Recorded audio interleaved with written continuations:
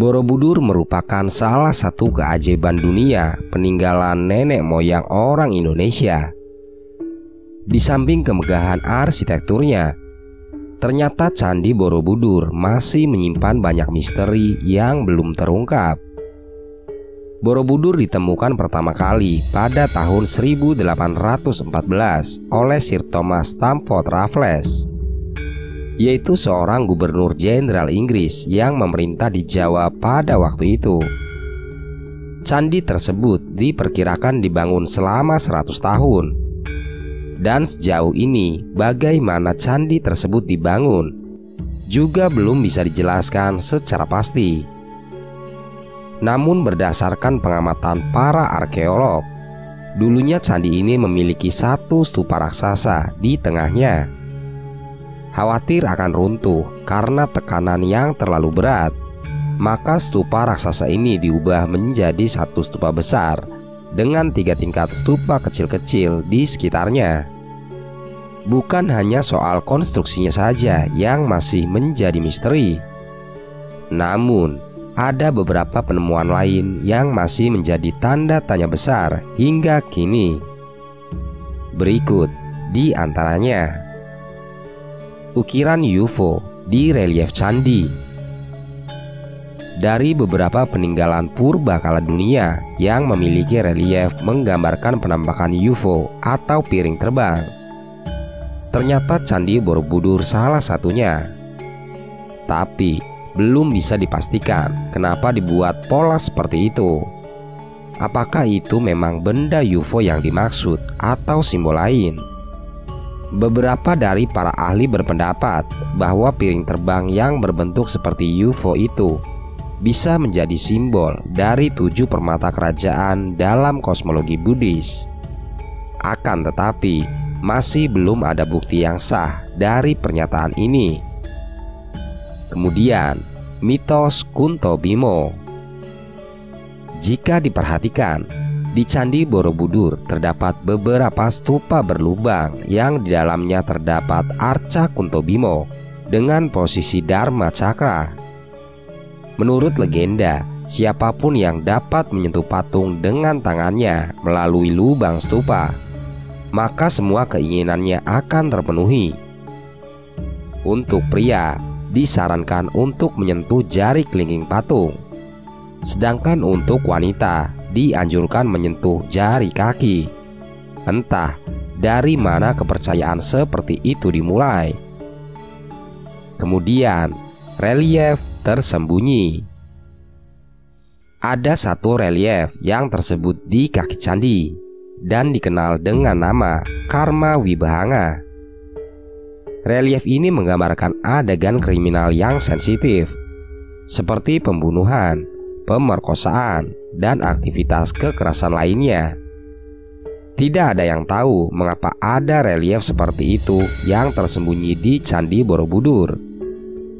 Relief itu sendiri pertama kali ditemukan oleh J.W. Yeserman pada tahun 1891. Kemudian, arsitektur Candi Borobudur satu hal yang menarik untuk diperhatikan dari Candi Borobudur adalah arsitekturnya.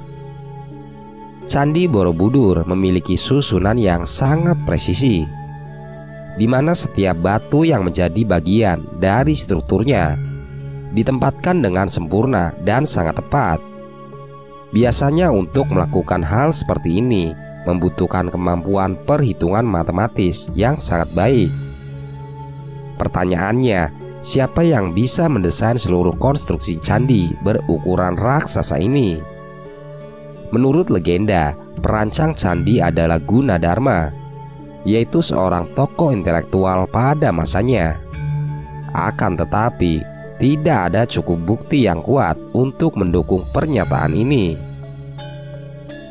Lalu, dibangun di atas danau purba Seorang mahasiswa dari jurusan geografi Universitas Gajah Mada bernama Helmi Murwati.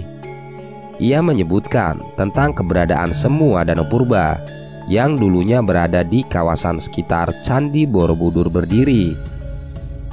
Jauh sebelum candi tersebut dibangun, Hasil analisis sebaran endapan lempung hitam menunjukkan bahwa endapan tersebut berasal dari material vulkanik dan batuan ditambah dengan citra satelit yang menunjukkan aliran sungai yang bermuara di danau ini.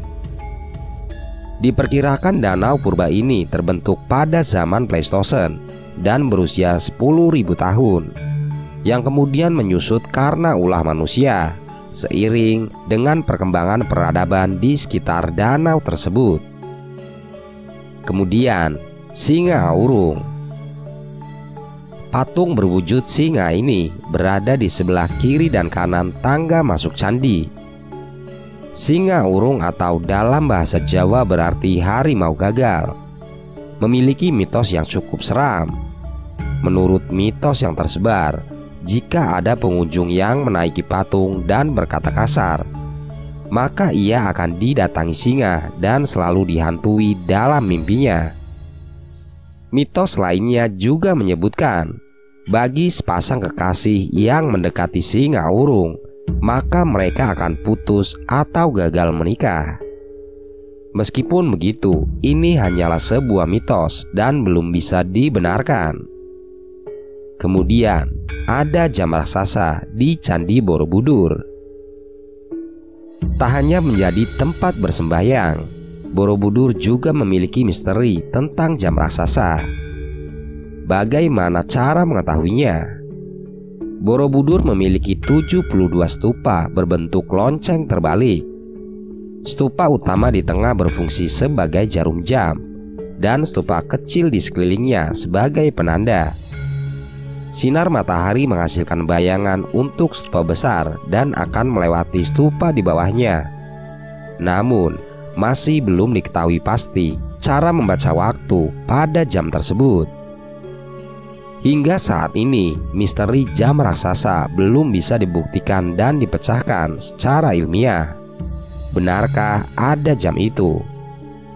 Seorang arkeolog menyebutkan bahwa sangat mungkin Candi Borobudur ditinggalkan ketika pusat pemerintahan itu berbeda, walaupun itu tak benar-benar hilang dari memori masyarakat. Jika memang begitu, Candi Borobudur sudah ditinggalkan oleh penganutnya beberapa abad sebelum candi-candi di Jawa Timur. Borobudur tak sepenuhnya terabaikan. Buktinya, keramik dan koin Tiongkok dari abad ke-11 dan abad ke-15 ditemukan di sana.